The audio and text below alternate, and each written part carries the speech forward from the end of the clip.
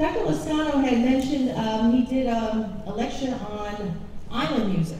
Isn't that right? I've done, I've done different lectures, yeah. Different yeah, types of tropical lecture, and I yeah. said, well, this is one, Yeah. one, uh, one island music that I play all the time. I don't know if you can hear it, but. And you can sing along if you'd